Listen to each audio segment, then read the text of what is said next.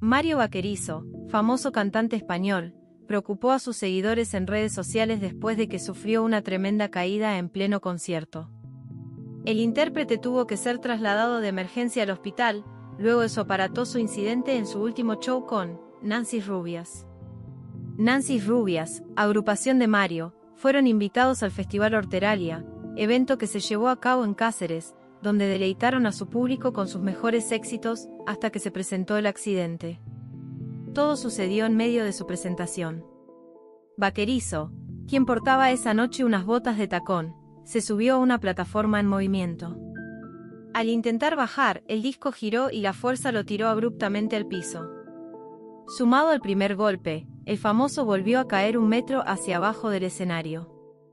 La situación causó controversia entre el público, tanto que reaccionaron asombrados por lo sucedido.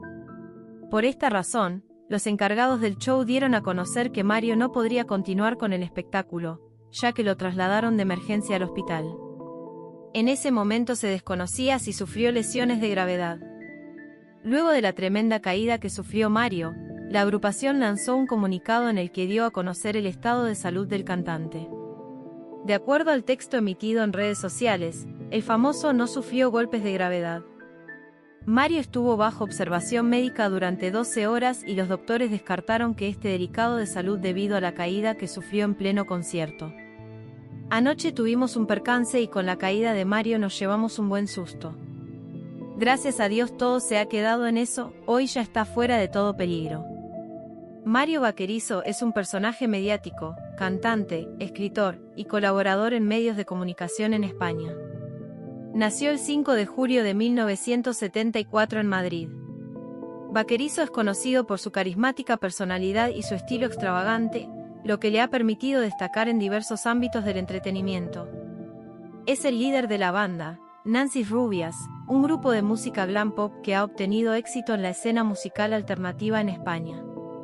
Además de su carrera musical, Mario es famoso por su participación en programas de televisión, como reality shows y tertulias, donde ha trabajado como colaborador y comentarista. Uno de los aspectos que más ha llamado la atención del público es su relación con la cantante y actriz mexicana Alaska, Olvido Gara, ícono de la movida madrileña y una de las figuras más representativas del pop en España. Mario y Alaska están casados desde 1999, y juntos han protagonizado un programa de telerrealidad titulado Alaska y Mario, que documenta su vida y su día a día.